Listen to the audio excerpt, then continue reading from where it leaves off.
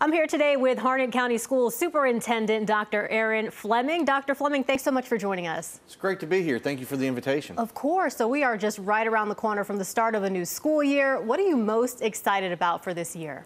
I think I'm the most excited that this can be a normal school opening. And while we're still living with some of the effects of the pandemic, we know that uh, it's been a few years since we've been able to uh, come back into school like we have. Uh, you really see the excitement in uh, the uh, staff face. You really see the excitement in parents and, and, even students. They're ready to get back. Yeah, oh yeah. Is there anything new happening in Harnett County Schools this year that families can look forward to? Well, we're always adding new and additional programs uh, all across our elementary, middle, uh, and high schools. Uh, some things parents will notice uh, at their school is uh, that we've added additional security technology uh, with RFID badge uh, tags. Uh, parents do have to uh, show their ID in order to enter the school. One of the things that everyone in Harnett County will notice if you have a school child or not are cameras on the side of our buses. We're the first school district in North Carolina to offer a stop arm violation program on our school buses. Mm. Uh, we noticed that we've had a lot of stop arms and stoplights run on our buses, and so we've uh, entered into this program, and so we've received a lot of positive feedback on that, and we're really excited to continue that this year. So that's probably the number one thing that parents will notice uh, when buses get back on the road. Yeah, very important safety measure Absolutely. to keep in mind. It is. I want to talk about staffing shortages. Yes. This is affecting districts across the nation. Where does your district stand for teacher vacancies, bus drivers, and other staff, and how is that going to affect the upcoming school year? Yeah, we've done really well in uh, our teacher vacancies. We do have some, but we have uh, done real well in recruiting. Uh, most of our classrooms will have a teacher in it. What really keeps me up at night uh, are our support positions, our bus drivers, our cafeteria workers, custodians, and teacher assistants.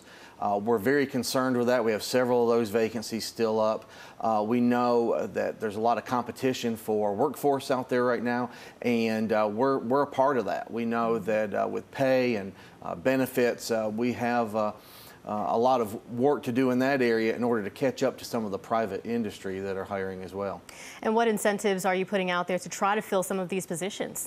Well, right now we're working on uh, a, a, bonus for recruitment and retention. We did that last year with our mm-hmm. COVID relief dollars, uh, and we plan on continuing that this year. So that has received a lot of support uh, from our teachers, our Board of Education, and others in the community.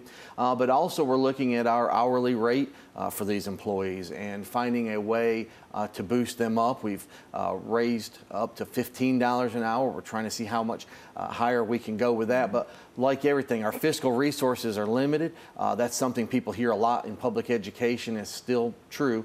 Uh, but we are working hard to try to get that salary and that wage up. And as far as the number of teacher vacancies, can you put a number on it at this point? Right now, we're right around 15 to 20 vacancies uh, across uh, all 29 of our schools.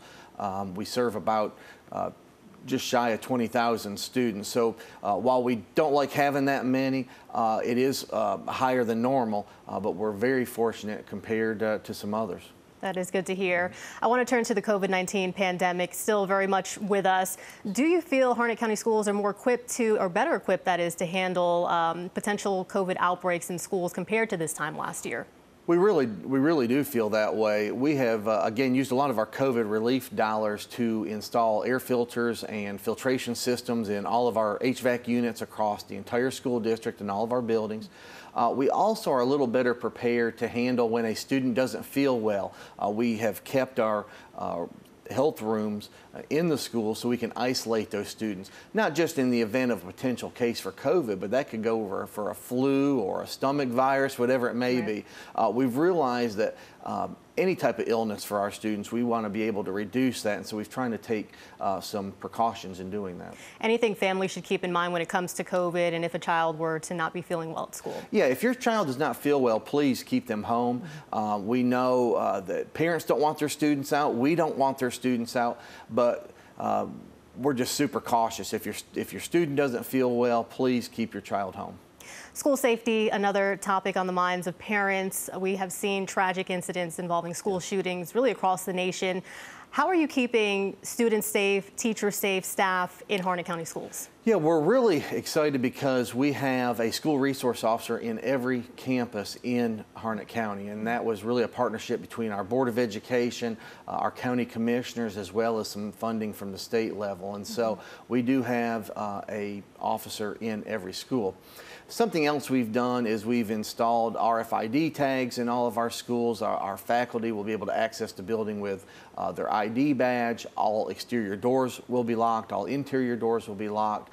Uh, as we're building and renovating school campuses, we're adding that same technology into uh, the interior classroom doors as well. So that in the event of a lockdown, we can lock down the entire school at once. And then we're also working with our emergency services department in Harnett County uh, to really ramp up some of our code red drills uh, and different exercises that we are able, so that we're able uh, to respond uh, and we know what those actions are if we ever do need to respond. Right, all valuable information for families. Dr. Fleming, any final message of encouragement before school starts on Monday? Well, I know our parents uh, are excited to get their students back into school, our staff. Uh, I'm excited uh, to see Harnett County schools full again. And uh, again, we're really looking forward to uh, getting back to normal, as everyone has uh, said time and time again. All right, Dr. Fleming, thanks so much for joining us. Best wishes this school year. Thank you so much. Of course.